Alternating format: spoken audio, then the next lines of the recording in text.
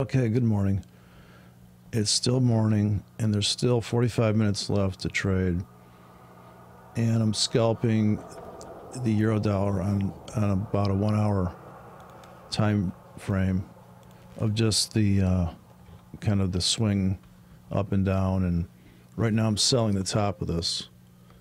And here's the daily, and trying to forecast the market because I guess that's what people do these days. And um, this is a real easy tool where you're not going to need any math or any um, any kind of calculations that are too. You can. It's just a visual type of geometric projection, so you don't need any math skills or anything.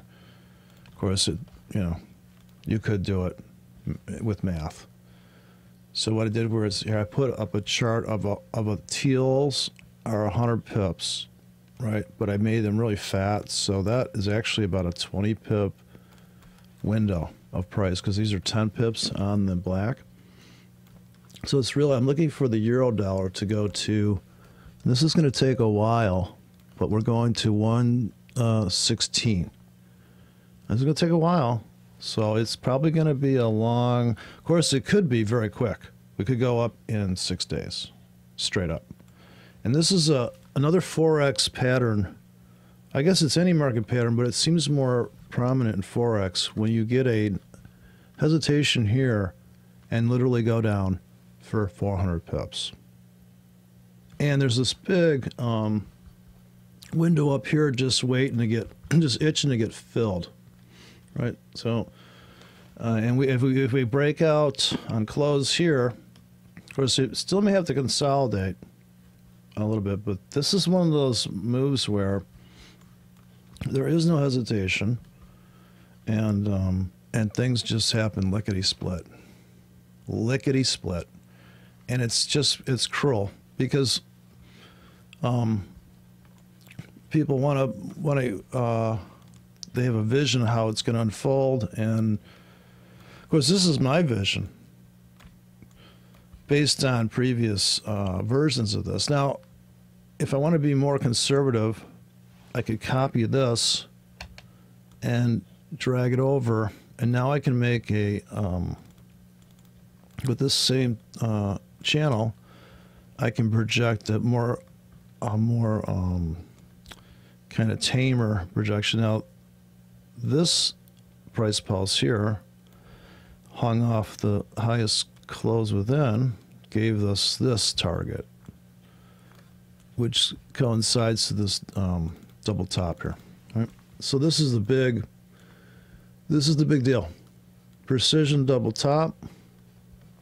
We project up into it with this tool off that top.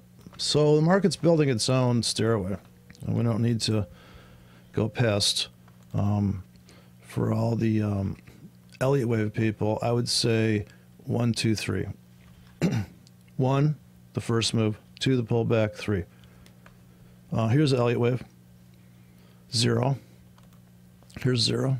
this is one. This is two pullback. Three is the biggest wave. Now we go into consolidation. But the consolidation may be very tight like this. So if this is um, See, how would you do the Elliott wave count here? It's not easy. It's like more like one, two, three, four, five. What do you do with this? You can't worry about that. Because Elliott should have six waves. Just saying. Um, so now look at this uh, projection.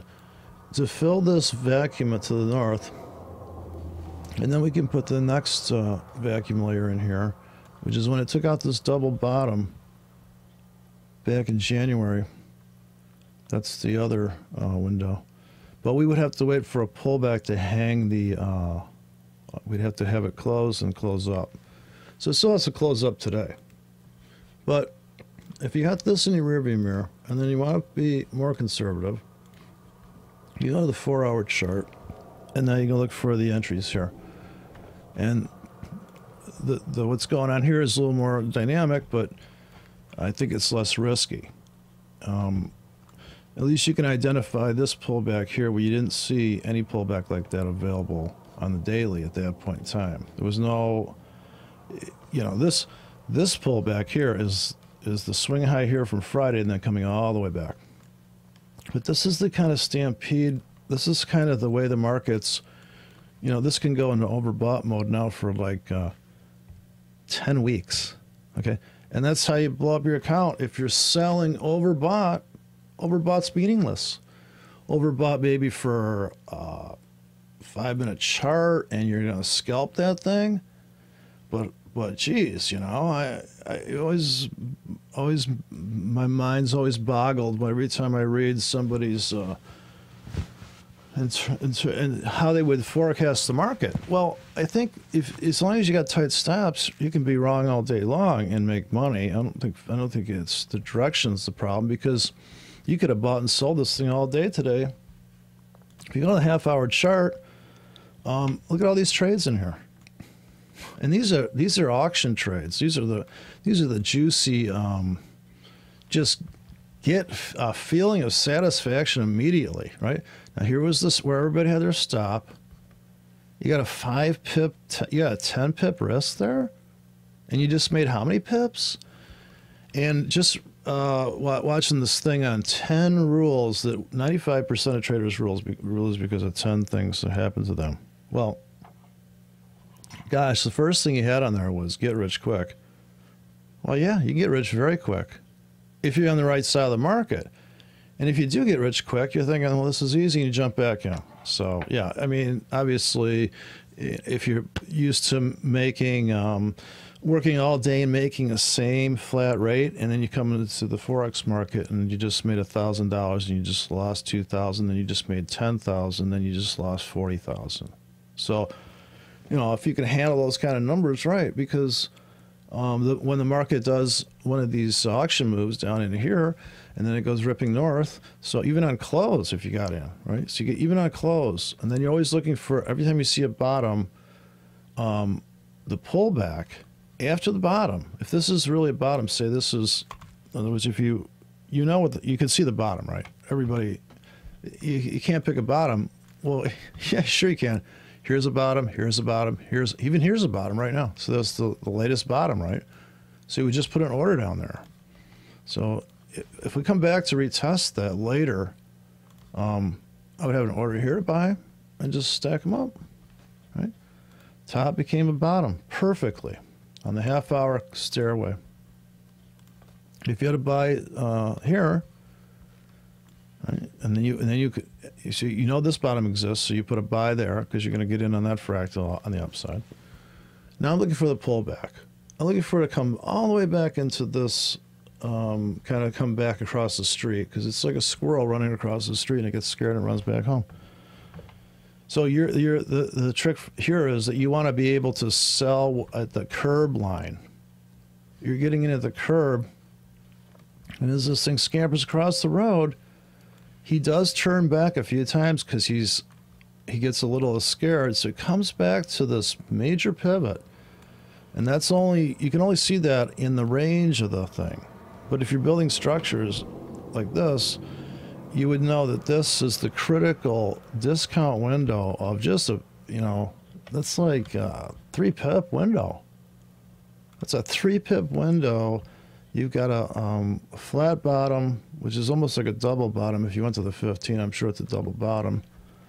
So how thin do you want to slice this? You slice it 15 minutes It's probably, well, that's about as thin as you can slice it and at least you're only uh, losing five pips, making five pips, but you can totally trade this time frame. But this is one of those days where this may be the only pullback you see, and then we're just going to go zooming up.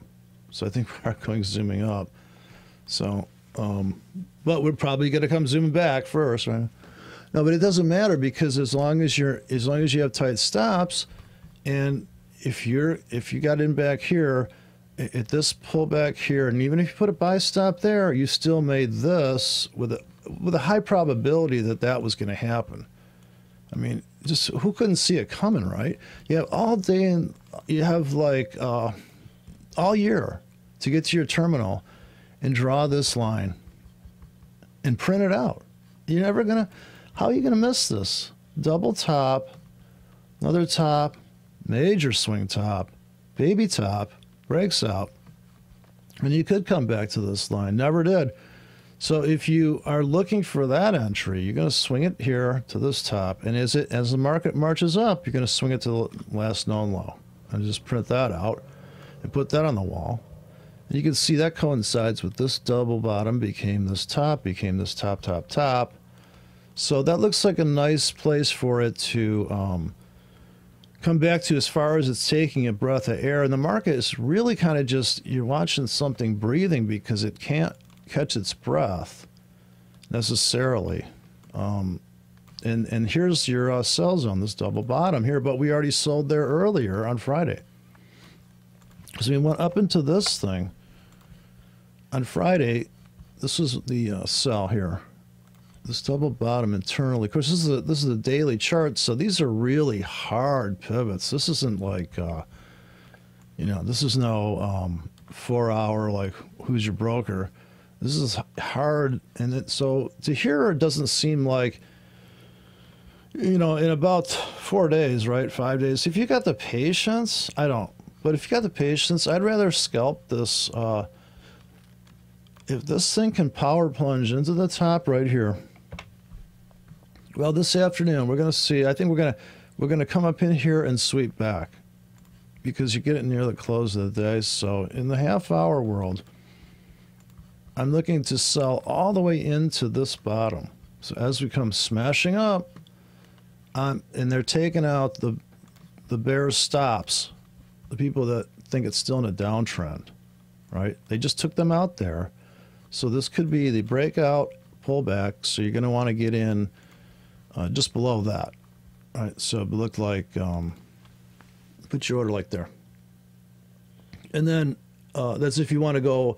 You still want to. You still think we're going up, and if you think that we're um, going down, I think you want to get in at these insane prices up here. So that's what I did. I put all my orders up in this trap zone here because I think that it's going to bounce off of this internal. But I do think in, in the end, we're going we're going after this.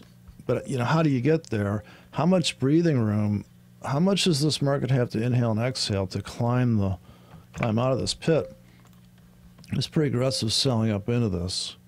So I'm not selling this until we get way up in. So this is a different setup, and this is a uh, this is a four-hour chart.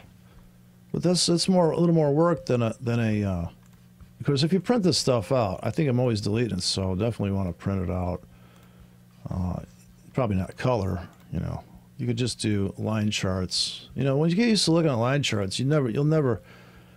Well, I don't say never, but a candle's like too much of a story. It's just telling you too much.